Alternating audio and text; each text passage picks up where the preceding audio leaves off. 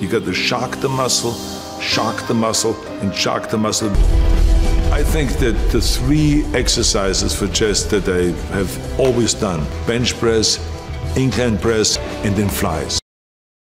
Exercise number one, this is the bench press. Myself and Kyle, we're power lifters primarily, so you're doing these nice pause reps. You're gonna get a little bit less muscle growth here than if you're doing the touch and go style where you're really just focusing on pushing that hypertrophy, pushing that higher rep, pushing yourself to new limits. Really focus on that mid grip, pull the bar inward, squeeze that chest, and that's how you get the most out of it. Rep scheme for this exercise is gonna be two warm-up sets of about 12 15 reps, get that blood flowing, and Arnold was all about still lifting heavy. He was a man, he liked to lift some serious weight. So what he did is he'd work himself up to a high triple or four rep PR, so we'd go 12, 10, 8, 6, 4, or 3, and that's what you guys are gonna do. Yep. Exercise number two, we're gonna be doing the incline barbell press. So the rep range is gonna be 12, 10, 8, 6, and then 4, 3 reps. Arnold, like Josh said, it was all about lifting heavy, but here we're gonna be focusing more on getting a nice contraction and isolating the upper chest for upper chest gains.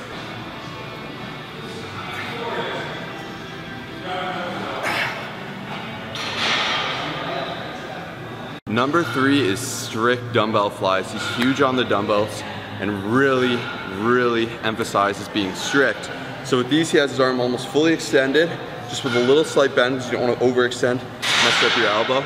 If you guys do have injuries, be very careful doing these. You're gonna keep your arms as straight as physically possible. And he's about getting that full stretch all the way down you're actually nearly hyperextending this muscle. You're pushing it to its limit, so use a lightweight keep it in control. We're keeping that same rep scheme. 12, 10, 8, 6. And he usually does about two sixes instead of the four here. So you don't want to destroy it with too heavy. It'll burn you out. Make sure you're squeezing. Let's get it.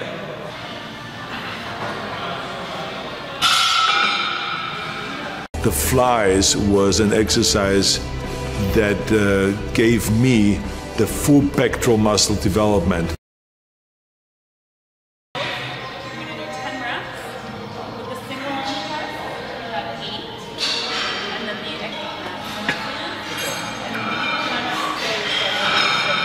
All right guys, so a couple tips for this exercise. You wanna stop just when you reach the top. You don't wanna bring it all the way in front of you because what that's gonna do is that's gonna take the isolation and the contraction off of the chest. Another tip is a lot of people actually do this incorrectly where they'll turn it into more of a lat stretch exercise. So on your way down, you don't wanna go fully down.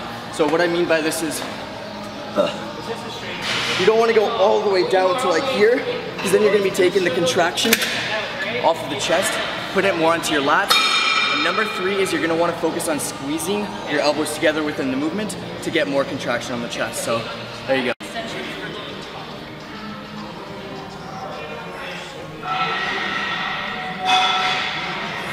Last but not least, we got the burnout, four sets of 50, good old chest dips. The way to do these different are you're gonna lean forward, squeeze that chest in. If you're just doing your normal dips, you're gonna be like this with no engagement. The second you tilt that core forward, put that chin down, squeeze that, you're gonna get that little bit of contraction right there. Get that huge Arnold chest, that's all you gotta do. Pump through it, good deep reps, no half reps. Really focus on that mind-muscle connection. And that's that. Hope you guys really enjoyed this video. This Arnold chest workout, got the double bi for him.